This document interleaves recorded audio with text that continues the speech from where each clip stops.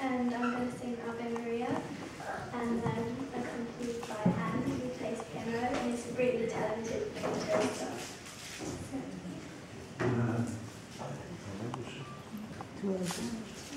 So.